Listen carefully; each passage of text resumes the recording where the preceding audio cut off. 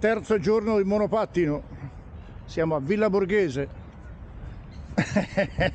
lei in mezzo alla strada, guarda. In mezzo alla strada.